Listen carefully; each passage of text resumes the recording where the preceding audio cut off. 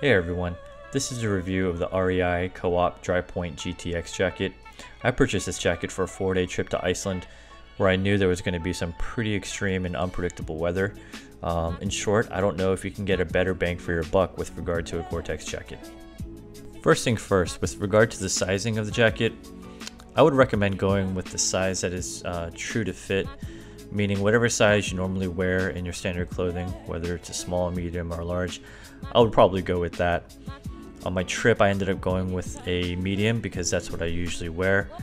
And after I got that jacket, when I was in Iceland, my typical gear that I had involved a short sleeve base layer, a long sleeve mid layer on top, a 750 down jacket, and a Fjallraven Skogsö jacket, and then my REI Co-op Drypoint jacket on top of that. And there was not an issue with regard to how it fit or the mobility or the tightness or anything to be uh, to be exact. The fitting actually works really really well because the jacket compared to all the other REI Gore-Tex jackets or even other Gore-Tex jackets like Arc'teryx and Mammoth um, in relation to those this particular jacket definitely has a little bit more space across the chest um, so if you were to move left and right laterally and put your arms up and down, there definitely is a bit more mobility um, with this jacket that you don't get from other jackets. And it's a little bit hard to explain, but if you've ever tried multiple jackets on back to back, um, you can kind of tell where it's tight and where it's not. This particular jacket was very um, fitting and it felt really, really good no matter how many layers I put on. And there was no restriction to any mobility or I didn't feel any issues when I was taking off or putting on a backpack, which was really nice.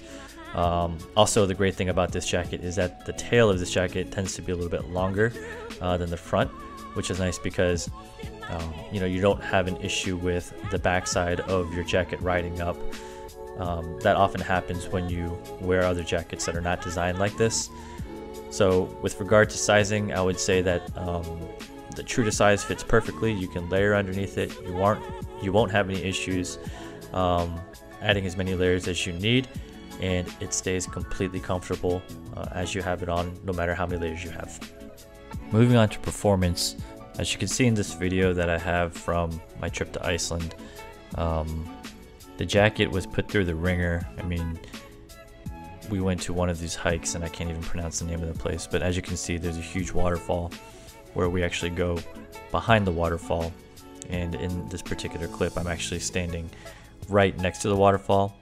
Um, I don't know if anyone can tell, but the amount of rain and wind that is coming off that waterfall is pretty, pretty strong. Uh, it's really kind of hard to put into words, but standing there with my jacket, um, not a drop of water got through, uh, and I was standing there for a little while, and you know spent a lot of time behind that waterfall, never had any issues with anything under my jacket uh, getting wet. So I definitely give it a thumbs up there. None of the seams uh, came loose or none of the seams let water in. Um, I stayed dry on pretty much any type of adventure that I went through that involved a lot of water, a lot of rain, a lot of wind, um, and this jacket held up perfectly on everything that we did.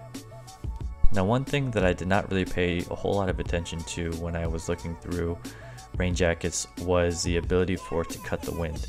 Um, I know a lot of people um, think of rain jackets and think of the ability of the jacket to keep you warm and to uh, have mobility and breathability. But something that I learned on the trip um, was that the ability of a waterproof jacket to cut the wind is really, really important. Now, as you can tell in the clip that I have right now, I left the volume up a little bit so you can have an idea of just how much wind there was. There had to have been winds going from 20 to 35 miles an hour at point uh, at points. Um, it was just so windy and so bad that if you did not have a jacket on that could um, cut the wind, some of the some of the wind would just go right through the layers. No matter how many layers you would have, you would just feel that coldness to your bones, and this REI uh, GTX jacket was able to kind of cut through all of that wind, no matter how high it was, and it retained a lot of body heat. Um, and I never felt cold when I had it on because of that. And that's something that I think everyone should consider when looking at rain jackets uh, because it's underlooked, but also a very important factor. All in all, I think the jacket is amazing, and I don't know that you can really get a better jacket for this price point. I certainly haven't tried on every single jacket on the market, but from all the hours of research that I've done, and after this trip, um, can't complain. This is uh, definitely the best jacket that I feel like I could have bought. If you have any questions, leave them below. Uh, feel free to subscribe to the channel and uh, have a good one and safe hiking.